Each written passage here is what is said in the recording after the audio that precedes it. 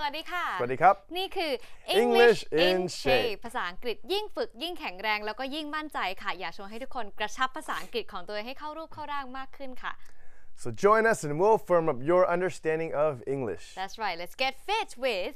Coach Boo and Coach ผู้เพย์วันนี้นะคะไหนๆก็ให้เข้าเทรนด์ของการเข้าสู่ประชาคมอาเซียนนะคะ เรามาดูการออกเสียงคำ เอเชียอาเซียอาเซียน โอ้ยมันสับสนมากเลยตกลงโค้ชมันฟูอ่านยังไงกันแน่นั่นน่ะใช่ไหมสิโอเคเอาอย่างนี้เริ่มจากทวีปที่เราอยู่ก่อนละกันตามภูมิศาสตร์เนี่ยนะคะ ทวีปที่เราเขียนในภาษาไทยว่าเอเชียบ้างเอเชียบ้างสะกดภาษาอังกฤษ A S I A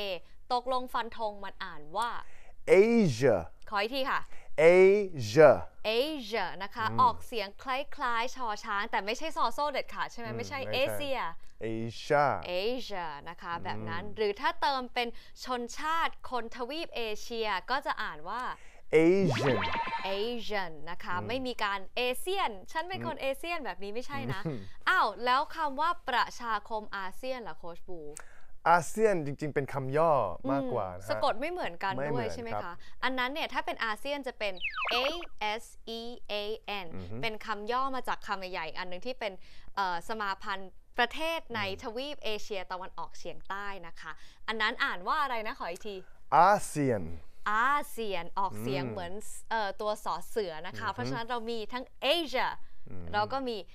ASEAN Yes ไม่เหมือนกันนะคะ ในทางภูมิศาสตร์จริง ๆ ก็ไม่เหมือนกันซะด้วยทวีปเอเชียนั้นประกอบไปด้วยเอ่อเอเชียตะวันออกเฉียงใต้ที่มีประเทศไทยพม่าลาวเวียดนามรวมไปถึงจีน ญี่ปุ่น อินเดียแบบนี้ อันนั้นคือทวีปเอเชียใช่อันใหญ่ แต่ถ้าอาเซียนนะคะ เล็กลงมาเหลือแค่ 10 ประเทศที่ใช่เราครับรวมตัวกันทางเศรษฐกิจเท่านั้น ขอออกเสียงชัดๆอีกทีทวีปเอเชีย Asian แล้วประชาคมอาเซียนอ่านว่าอาเซียน Asia อาเซียน Yes คราวหน้ากระชับกันขนาดนี้แล้วอย่าให้พลาดอีกเลยนะคะ